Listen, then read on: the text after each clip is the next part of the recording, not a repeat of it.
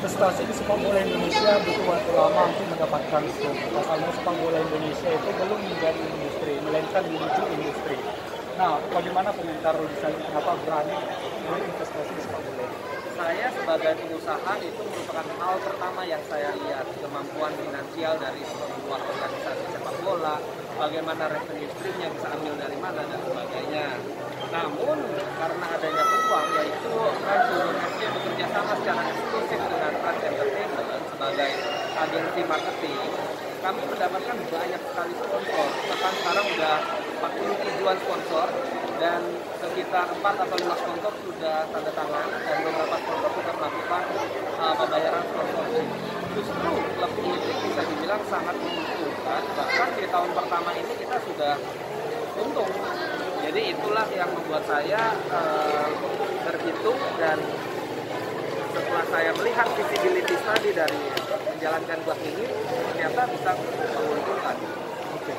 Nah, bicara soal keinginan memajukan sepak bola Indonesia, mengapa uh, Rans tidak memilih klub dari Liga 3? Apalagi Rans ingin membangun fasilitas juga.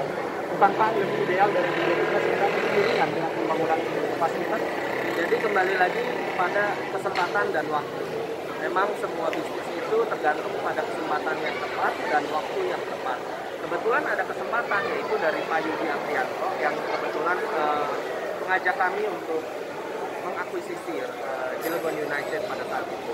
Dan waktunya juga tepat. Kebetulan kami juga memang sedang merencanakan investasi untuk pembangunan sebuah area olahraga. Akhirnya kami satu padukan uh, area olahraga tersebut menjadi lapangan sepak bola untuk uh, Rans Cilegon uh, FC uh, dan uh, penawaran dari Pak Yudi itu kami terima karena kami sedang membangun infrastruktur. Jadi kebetulan di tempat yang tepat dan waktu yang tepat. Pembangunan dilakukan di Jakarta, kemudian dengan supporter baru. Bagaimana Rudi Salim memandang supporter Cilegon yang lama ini? Ya, supporter Cilegon yang lama tentunya tetap kita harapkan dapat mendukung uh, Cilegon uh, Football Club yang baru. Karena memang ini merupakan cikal bakal dari Rans Cilegon FC ini adalah Cilegon United.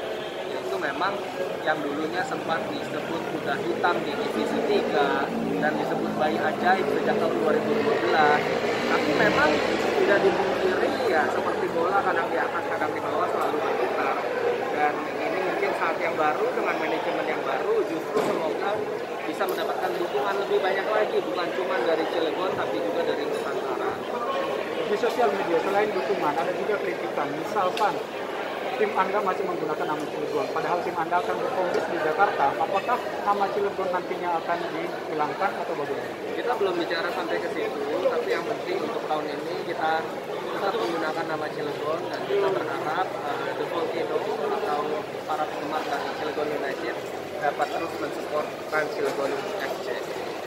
Untuk saat ini, tim baru ini semata-mata digadang-gadang dikenal orang karena sosok Anda dan juga sosok Raffi Ahmad di dalam.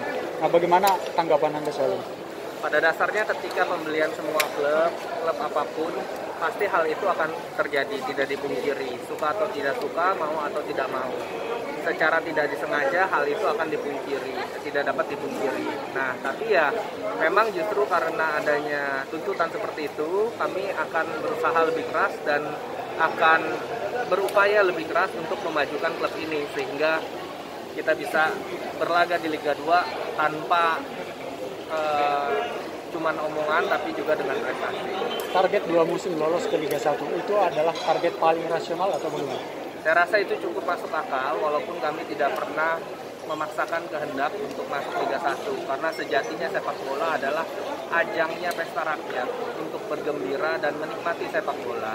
Kebetulan Raffi juga sebagai pencipta sepak bola, jadinya kita berharap sepak bola ini dapat dinikmati, di enjoy bukan sebagai ajang motot-mototan atau berantem. Jadi lebih ke situ. Lebih untuk menunjukkan passion dari kita terhadap sepak bola.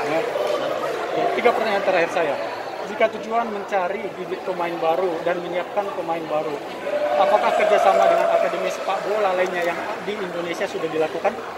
Pada saat bulan April tanggal 2 sampai tanggal 10 kurang lebih, kita sudah membawa hampir 100 orang dari berbagai sekolah sepak bola yang ada di Indonesia uh, menerbangkan ke Jakarta lalu melakukan seleksi tertutup itu semua biaya akomodasi, terbang, tiket pesawat, hotel kita siapkan. Tujuannya adalah mencari potensi-potensi baru dengan menerbangkan calon-calon pemain baru tersebut dari beberapa SSB. Ke depannya juga kami akan mengembangkan SSB dan akademi di Rans Cilegon uh, Football Club ini. Pak mudah untuk masuk ke Liga 1 mengingat tim-tim lain mempersiapkan diri semaksimal mungkin seperti Persis Solo, Sriwijaya, Mitra Kukar, dan ada juga Dewa United. Bagaimana Anda melihat ketatnya persaingan di Liga 2 kali ini? Ya, uh, di Liga 2 memang sekarang terlihat lagi hot, sangat hot dibandingkan uh, sebelumnya. Tapi ya itu justru menjadi membakar api semangat kita untuk maju. Kita akan berusaha sebaik mungkin, tim pelatih, manajemen, dan juga pemain tentunya bisa kita lihat mempunyai semangat yang sangat baik. Jadi kita akan berusaha sebaik mungkin. Pertanyaan terakhir saya, bagaimana peluang komersil yang Anda lihat di ketatnya persaingan di musim ini?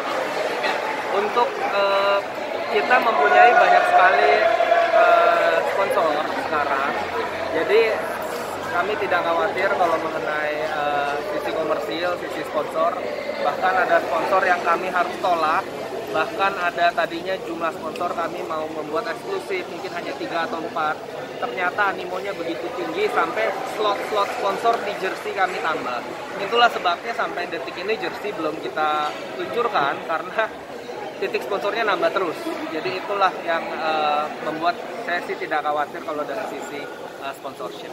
Mas Rudi, di Liga 2 ya? Meskipun di Liga 2. Mas Rudi, uh, ini kan Mas Rudi berangkat dari pengusaha otomotif, habis itu lari ke produser dan sekarang tembus ke industri uh, olahraga gitu. Ya. Sebenarnya apa sih maksudnya ketika ditawari Raffi untuk ya. gabung, beneran apa yang maksudnya yang dicari dari Mas ya, uh, saya? Uh, sebagai pengusaha saya melihat semua peluang yang ada di dunia bisnis. Jadi kalau memang ada peluang di dunia mana pun, kebetulan saya juga punya beberapa restoran, restoran jadi dunia kuliner juga saya dalami apa pun peluangnya selama bisa memajukan kesejahteraan untuk sesama dan juga bisa menghasilkan keuntungan untuk organisasi dan perusahaan akan saya jalankan. Berarti Mas Rudi tipikal pengusaha ya maksudnya tidak takut untuk gambling gitu di awal? Tentu semua pengusaha itu sangat erat dengan kegagalan, sangat erat sekali berhubungan dekat sekali dengan kegagalan. Jadi uh, itu suatu hal yang lumrah lah yang harus kita lakukan. Tidak boleh khawatir dan tidak boleh takut dengan. Berarti siap untuk misalkan uh, jika nantinya di sepak bola gagal nggak masalah berarti Mas Rudi? Motivasi apa sih yang Mas Rudi bangun di dalam hidup ini? Ya, saya berharap sih kalau kita bisa makan satu piring, piring kedua, piring ketiga bisa kita berikan ke yang lain. Maka itu juga yang kita harapkan. Semoga Rancil FC ini bukan cuma bisa memberikan kemakmuran pada pemain, itu yang pasti. Yang kedua, semoga bisa memberikan amal yang baik kepada masyarakat sekitar juga. Itulah sebabnya kita setiap kali melakukan acara selalu ada yang kita berikan ke sekitar kita ke kemarin ke anak yatim hari ini juga ke panti asuhan dan sebagainya. Oke siap. Jangan lupa subscribe ya.